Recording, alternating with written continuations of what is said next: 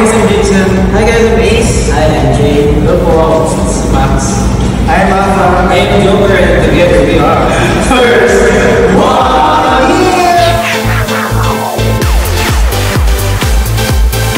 Yun po, kakaulang po namin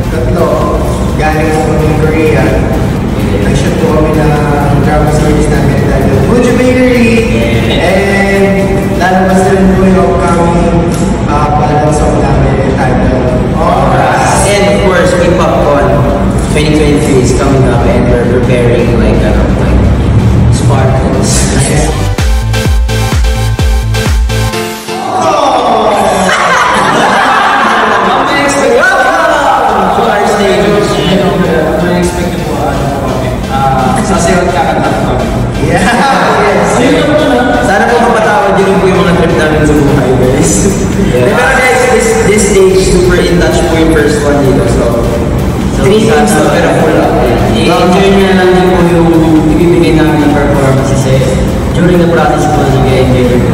tatalunin nito yung stage natin last year.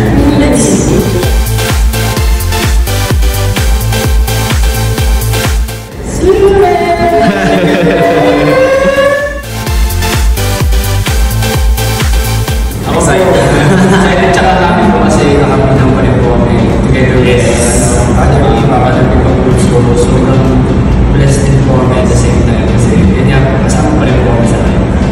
yung difference po kasi ng P-pop po last year is yun po yung first time na nag-perform po sa concert as a P-pop. So parang grabe yung kaba namin. Pero since my experience na kami, parang medyo kaya-kaya siguro yung balance. May kabag, may kabag, may kabag, pero yung nakabalance na kami.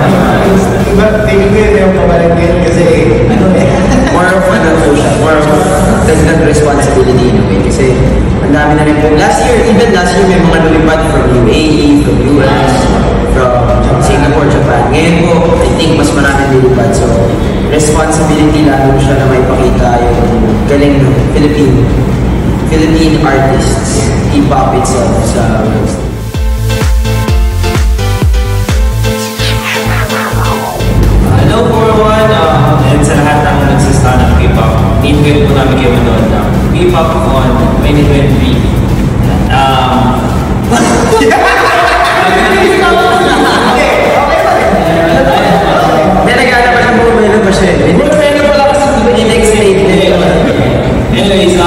we're inviting you guys uh, sa magpapasama kami lahat dito.